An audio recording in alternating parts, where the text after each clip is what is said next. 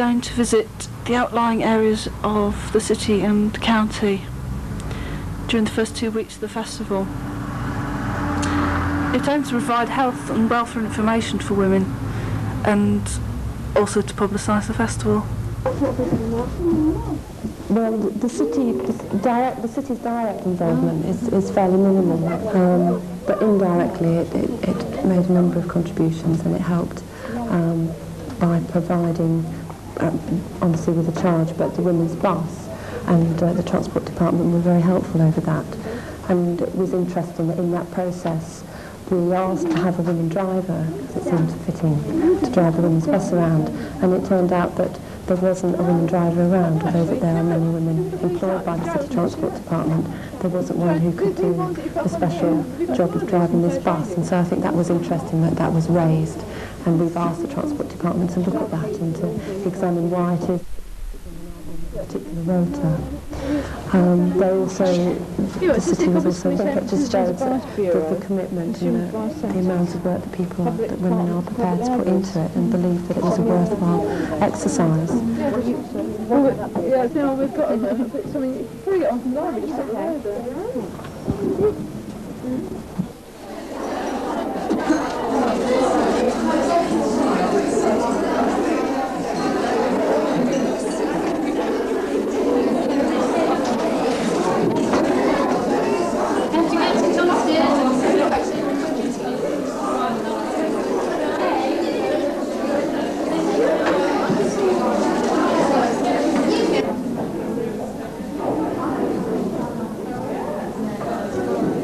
originally it was the idea was just to to have something around International Women's Day and to try and celebrate that in a very strong way, in a way that hadn't been done in Nottingham for a long time. And it's and it's developed into more of that, and I think it is very much a celebration of women.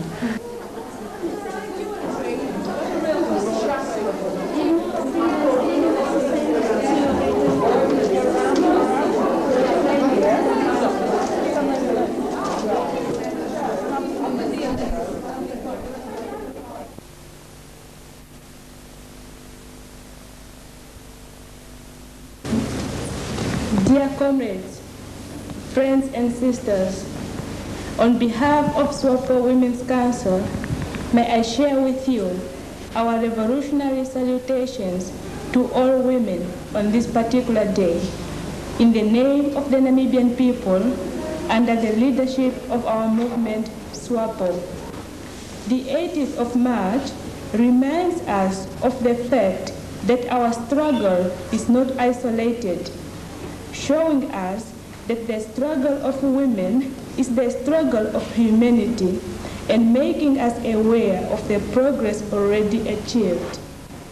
There are many women who should have been here with us today, those who in their liberation struggle have created the political, moral, and even physical conditions for our meeting here. Their sacrifice is a bridge to our future progress. We want every women's organizations to understand the suffering of the people of Namibia. We want them to know that we are fighting, and we want to tell them how they can help us. We rely on the support of women's groups throughout the world they are sharing the same problems, and together we must find the solutions.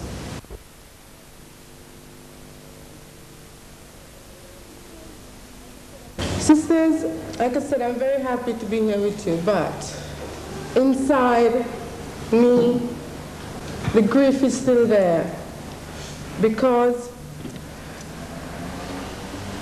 up until the, the events of October the 25th, 1983, Grenada, and especially the women of Grenada, were indulged or were indulging themselves for the first time in the history of our country, right?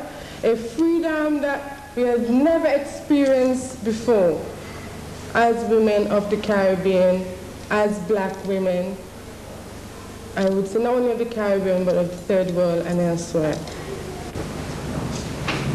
The first two of our sis- women who were employed on the docks, and that was a big event. And that took place two weeks before the Americans moved in.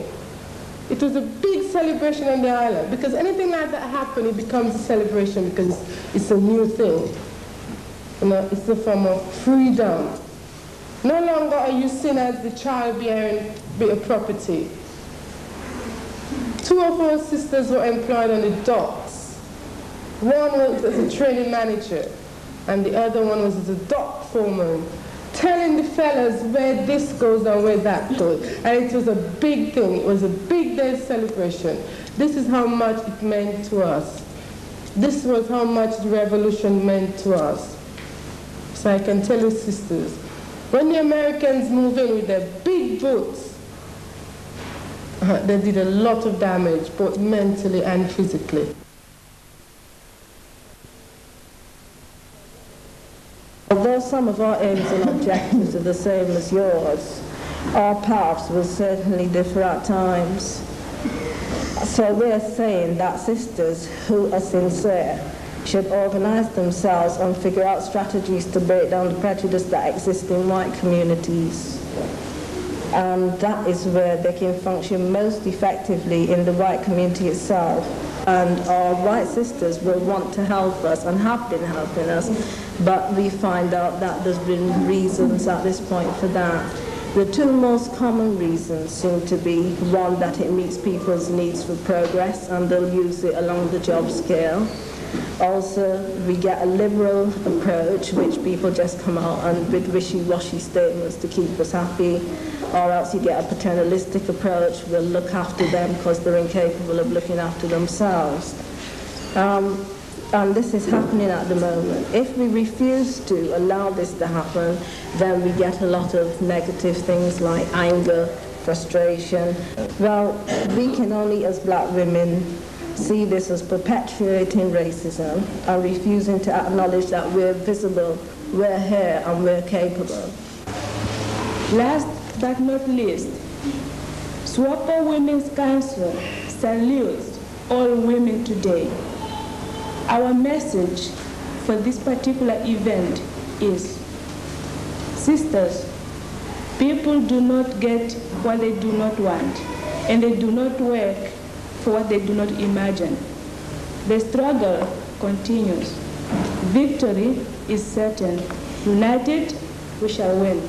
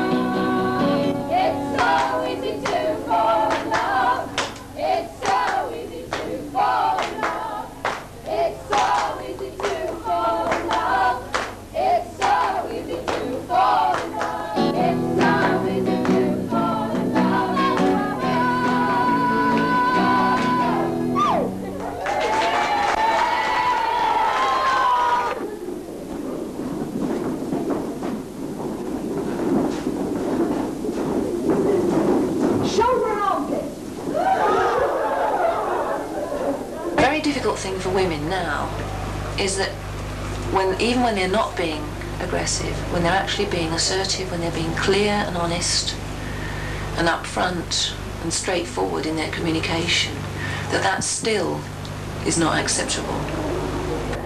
That was certainly a focus for anger, that the information wasn't available, that women just weren't given that kind of information about birth control, about controlling their own fertility. I didn't feel like we knew anything about Afro-Caribbean Asian women's experience of birth control in this country or elsewhere.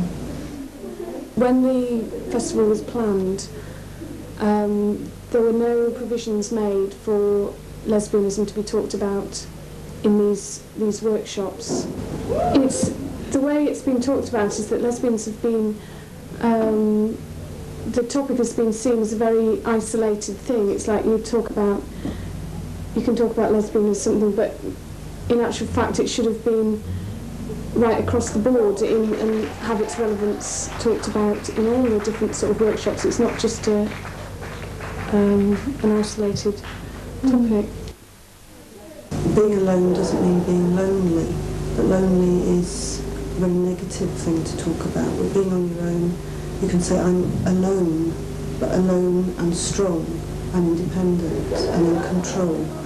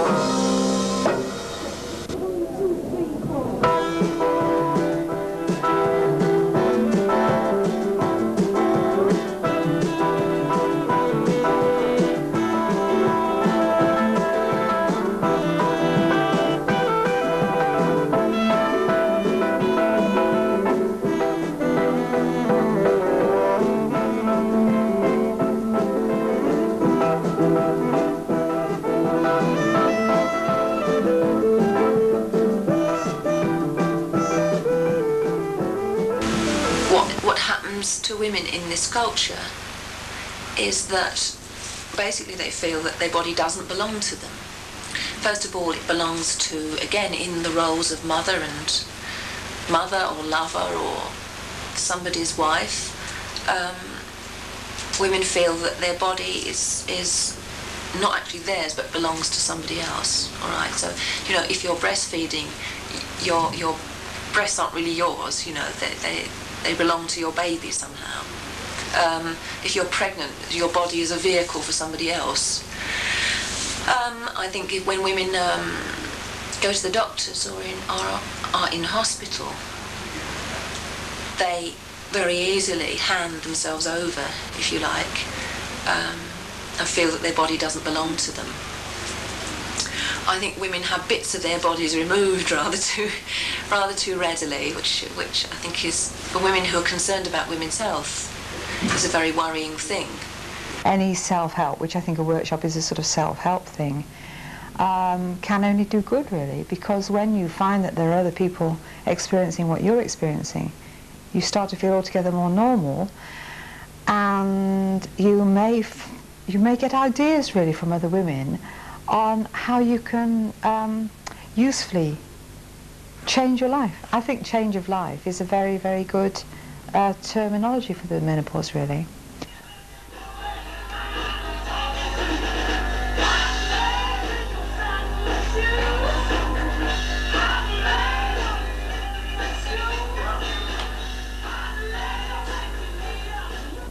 Used to be unpacking, did you? No, on this job, I'm just out of practice. They put me back on training weights till I get fast enough to be on piece rate again. And how long is that likely to take? I don't know. Not long. You said you were on average weight, no? You said you had good average? No average is as good as my best. So I've got people who've got two wages coming in. I've got no husband to support me. Oh, I also don't. Why? Is he on the dole? He died. I'm widowed.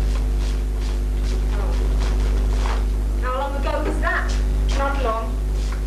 You'll be wanting to get back home then. Sorry? Oh, where you live. Oh, it's only 10 Jubilee Street, 10 minutes walking. You know it. I didn't mean that. I meant... Oh, look, we're getting behind. It's Hard first day back. I suppose we don't slow the cycle down. Oh, it's not important now. Until we're on piece rate, we can start slow and get faster. I've got a rhythm. I can't do it slow. Well, we just got to get used to working with each other. Come on, you're making a lot of money for the company working so fast. I make money for my kid, no one else. I don't take charity. Oh, I'm sure you don't. Listen, I can't keep I don't know what I'm doing working with you. See, this is too fast for me. I, I can't. I can't do it. You just can't leave this sort on too long. Quality I know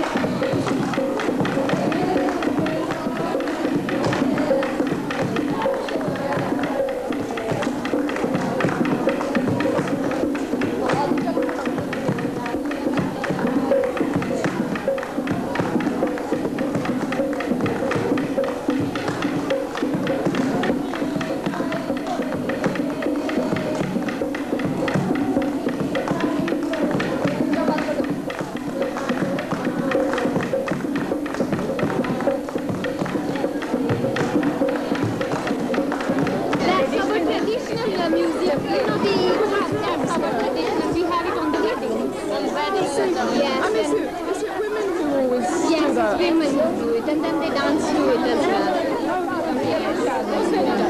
There was two girls dancing. It is all traditional actually. Actually, it's much on marriages, you know. On marriages, people sing and dance quite a lot. Marriages? Yeah, and uh, especially on that drum sort of, you know, they were playing that. And it's uh, on marriages, you know, which people sing and dance. Basic things which we use in our country. Uh, I mean, it's not professional sort of uh, come and do that. You can do your own makeup also, you know, your own surroundings, you know, with your own. Um, special sort of things, you know, or the ingredients which make things like makeup stuff, you know. And, uh, and you don't often buy it from markets, you know, or supermarkets, you know. They make them their own, like um, uh, cleansers and um, skin tonics and everything, you know. Uh, hair oils, conditioners, make their own. Uh, it's easy here, you know, you, you can use it just from the market. Yeah. And do, do, do the women usually have makeup and jewellery? Yeah, uh, in city, yeah, but not in uh, villages. City, yeah. But I think even in villages they have that gangasa. Yeah. We have a stick which you use on to clean your teeth and it colors your uh, lips. Oh, what colour? Yes. Orange. Orangey Just like henna color. Like henna in fact. They use that and they use um, what's? Eyeliner. Eye- It's like eyeliner with powder. They use that. So they, they have their own makeup in the uh, suburbs as well. What about, what about jewellery? I notice everybody wears a lot of... Oh, we are Yes. mad about jewelry. But jewelry is like a status symbol, really. Yeah. And is that, what about in the nose? Oh, that's nut, you know, that's called nut. N-U-T-H, you can pronounce like that. And um, a piece of jewelry, you know, just like uh, you have got on your forehead and your hands and fingers and uh, neck, you know. So it's uh, part of jewelry.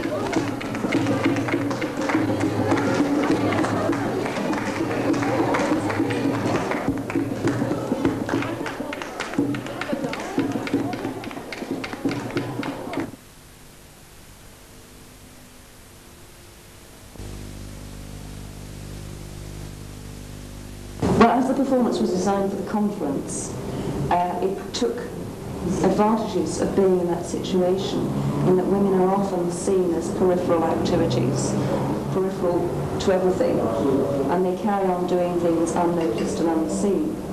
And um, we wanted, I thought it would be a nice idea to have the performance going on as people came in, so that initially they weren't really aware of what was happening. It was only as they sat down that they realised there was a regularity and a sort of theme running through the whole thing. I wanted to raise the issue of how um, housewives living at home carry on with their work as artists and the difficulties involved because um, the way time is fragmented by so many things in the household that. You know, There's the washing, the cooking, the kids to be taken to school. Um, and if you have a bit of space at home that you work in, you you don't go to that space until you've done all the other things, which very often means doesn't leave you much time. And of course, in, in actual fact, that's what happens. You know, your daily life doesn't change, and okay, you may wash nappies initially, and you end up washing shirts at the end of it, but um, you're still washing, you're still cooking, you're still cleaning. It's the only, a- only the age of the children that makes the difference. There were 20 sequences, and the idea was that um, each sequence represented a year of my life.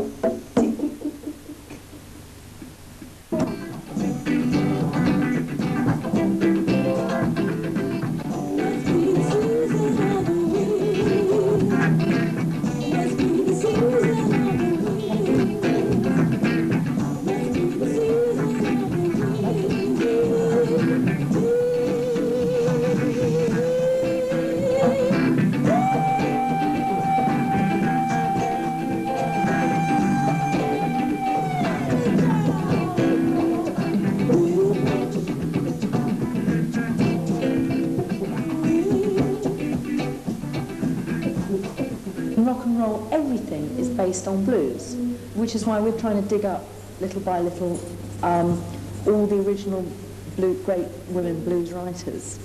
Um, and American feminists try and do that too. Um, it's just a, it's a really long, long process because most of them are in obscurity, like most women artists, you know, they're all anonymous.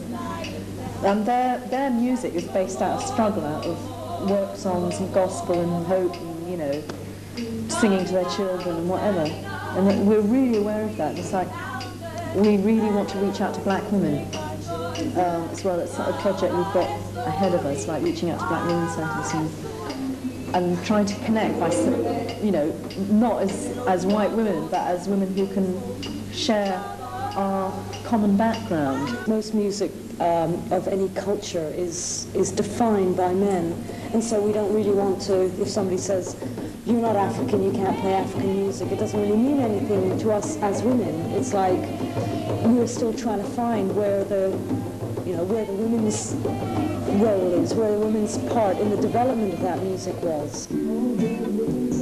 We played in um, a gay pride march in Yeah, Hyde Park in 1979 with Tom Robinson. Okay, nice gay program for the telly. Okay, they filmed us like for what, 15 minutes or so? We were singing a song called Lesbian Fighting Song. No, Little Girls. And Little Girls. Yeah. We saw the television program. There was absolutely nothing of us on it. Everybody else. I remember it was so male orientated.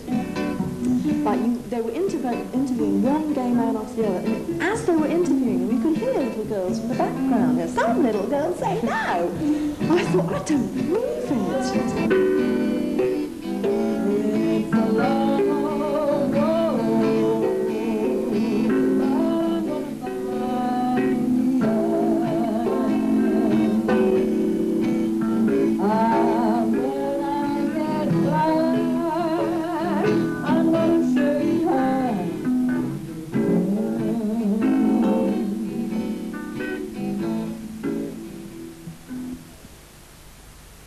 Women's Art Change was first of all started in Battersea, at Battersea Arts Art Centre, and it was set up by a group of women art students um, as a conference to discuss the position of women artists in colleges and the sort of sexism that goes on in art education.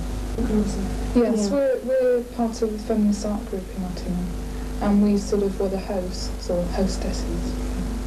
And the last one that was in Nottingham has been the first one which has been organised by women outside of art colleges, which forms that link between what happens to women out, out of college and the students in colleges. It's important in terms of women's art, you know, to perhaps identify just the way women work anyway from different sexual point or starting point in men. A lot of women's art is actually about themselves and exploring or re-identifying a sexuality of their own.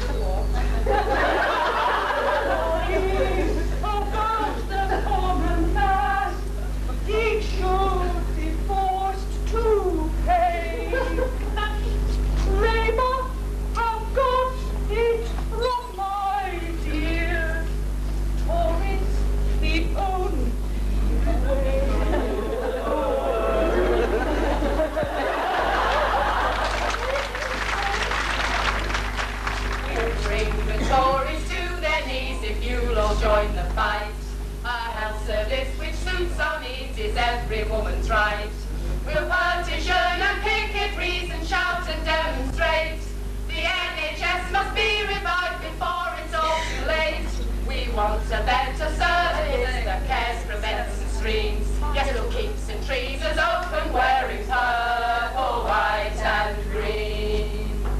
The power's not in women's hands, the one woman supreme.